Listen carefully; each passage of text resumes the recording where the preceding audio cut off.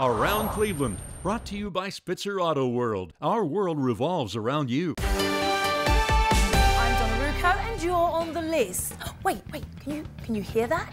That's the cheers coming from the stands. They're for you. Well, that's if you show up.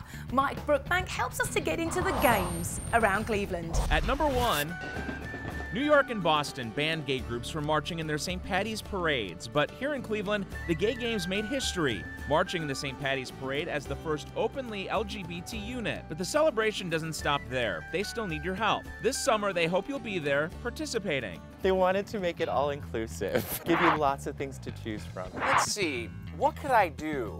Volleyball seems fun. Nah, maybe I could cheer.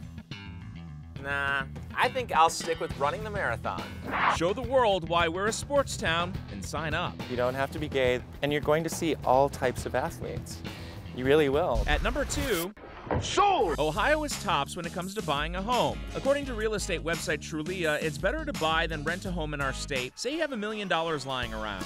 If I had a million dollars. In Cleveland, that will get you nearly 22,000 square feet. Meanwhile, in San Francisco, that same million I would buy you a house. would only get you 1,500 square feet. At number three,